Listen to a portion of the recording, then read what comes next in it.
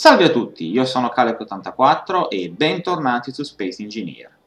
Oggi è giorno di tutorial. Oggi parleremo di come spostare una nave da un salvataggio all'altro. Allora, ovviamente sappiamo tutti che premendo CTRL più C in modalità creativa e aspettando un po' che carichi quando la nave è molto grossa, creiamo una copia della nave e anche togliendo la copia questa rimane in memoria. Quindi possiamo prendere, eh, andare su un altro salvataggio, fare CTRL V, aspettando di nuovo alcuni secondi perché carichi, ed ecco qua la nostra nave. Ma cosa succede quando la incolliamo? Nel nostro caso la nave viene copiata, però c'è qualche problema. Come possiamo vedere, nella copia manca qualche cosa.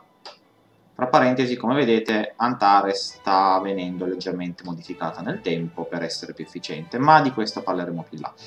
Come vedete, dicevo, mancano i cannoni, perché infatti col tasto CTRL-C e CTRL-V si copia ogni singola nave. I cannoni sono considerati navi a sé, navi a parte, e quindi non vengono copiati. Quindi, come posso fare se voglio spostare Antares su un altro salvataggio, ad esempio per vedere come se la cava a combattere contro un'altra nave, anche questa costituita da torrette, hangar, eccetera, eccetera. Come posso fare? È molto semplice. Per prima cosa andiamo sul desktop. Poi prendiamo la nostra cartella di SE Toolbox ovunque ce l'abbiamo installata. Se non sapete cos'è SE Toolbox, vi rimando a un mio tutorial precedente nel quale spiego come installarlo e le prime basi su come utilizzarlo, ad esempio per cambiare il tipo di armatura su una navicella. Ora che sappiamo cos'è SE Toolbox e l'abbiamo installato, procediamo. Per prima cosa creiamo una nuova cartella sul desktop o nella cartella che vi fa più comodo. E nuova cartella e la chiamiamo per esempio col nome della nave, nel mio caso Antares e questa cartella rimane qui. Apriamo la cartella e avviamo SE Toolbox.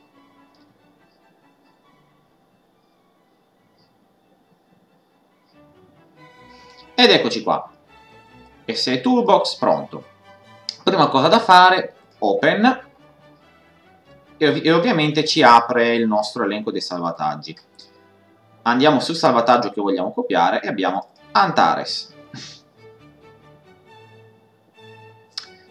Ora, andiamo su distanza e abbiamo il nostro personaggio e in base a dove abbiamo lasciato il nostro personaggio, eh, nel mio caso l'ho lasciato all'interno dell'astronave, quindi il large ship più vicino, 38 metri, è lui. Copio tutti i large ship, in questo caso, che si trovano, diciamo, entro 200 metri, to, fino a qua. Questi.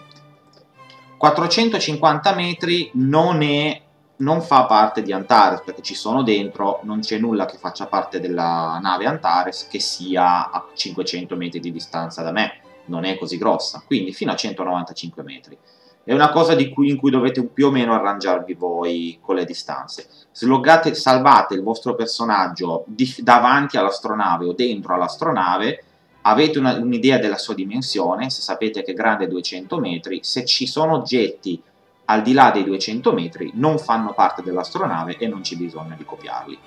Pure semplice. Allora, selezionati tutti, cliccate su Export e vi dirà dove lo salvo? in questo caso è già qui, però voi semplicemente andate sul desktop e dove è la cartella? Antares, ok, salva e vi apparirà tante volte salva, una volta per ogni nave e andate avanti. Avanti, avanti, avanti. Sono tutti file piuttosto piccoli, non occupano tanto spazio, è solo che dovete cliccare ogni volta. Non, te, non, fate la cosa tipo tenere premuto invio, eccetera, perché rischiate di fare selezioni strane sul toolbox nello, nello spazio di tempo che c'è tra, tra una conferma e l'altra. Quindi cliccate ogni volta sì. Ok, ora che avete fatto ciò, open di nuovo e nel mio caso l'ho già fatto, ma anzi vi faccio vedere come si fa. Torniamo sul nostro gioco. E al menu principale creiamo un nuovo mondo.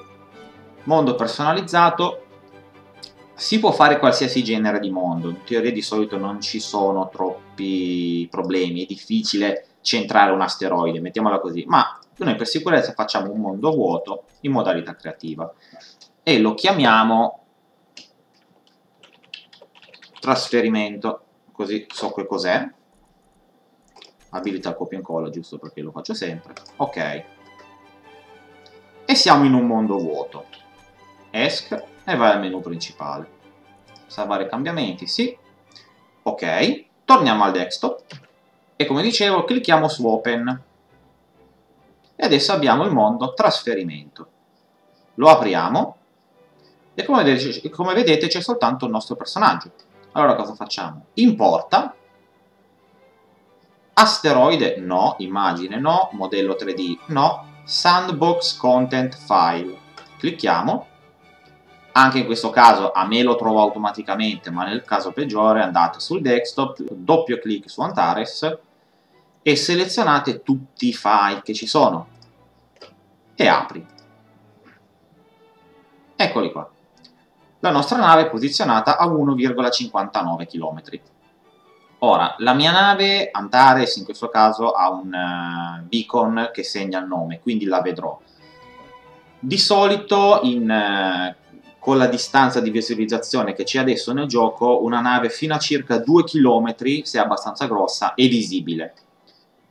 Nel caso peggiore, eh, cambiate la vostra posizione. Cliccate sul personaggio e gli dite, anzi, prima fate così, vedete la, la posizione della, un, della nave grande, che è tipo meno 413,47, andate su astronauta, meno 400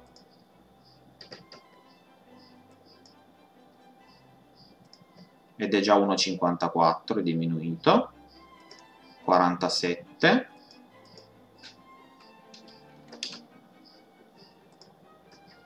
sono 47.000 km insomma pacioccate un po' finché non lo trovate. Ok. Meno 1500 meno 1400 ok. E adesso siamo a 137 metri dalla nostra nave. Facciamo 200 così sono sicuro di non essere dentro un muro. E facciamo save fatto. Torniamo sul gioco. Carica mondo. Trasferimento.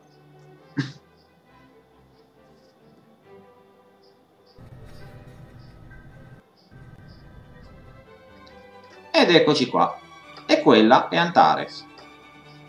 Vediamo un po' se è stata copiata correttamente. E la risposta è sì come vedete i cannoni sono tutti quanti al loro posto non c'è assolutamente nessun problema. E oltretutto avendo copiato solamente Antares, non ci sono eh, detriti per lo spazio, non ci sono corpi che viaggiano, non ci sono asteroidi, quindi la lag è molto minore, e noi possiamo utilizzare questa tecnica anche per trasportare ad esempio un'intera flotta su un salvataggio per vedere ad esempio come sta e direi che questo è tutto come vedete è un procedimento molto semplice, veloce e che vi permette appunto di collezionare tutte le vostre navi, anche quelle complesse, assieme oppure di spostarli in mondi più leggeri, ad esempio senza asteroidi o senza detriti dovuti ai vari test che avete fatto, come capita spesso a me. Quindi, se avete ancora delle domande o non avete capito bene qualcosa, chiedete pure nei commenti, cercherò di rispondervi nel miglior modo possibile. Ma nel frattempo, se il video vi è piaciuto cliccate su mi piace, commentate, iscrivetevi al mio canale per altri video e ci vediamo alla prossima. Ciao ciao!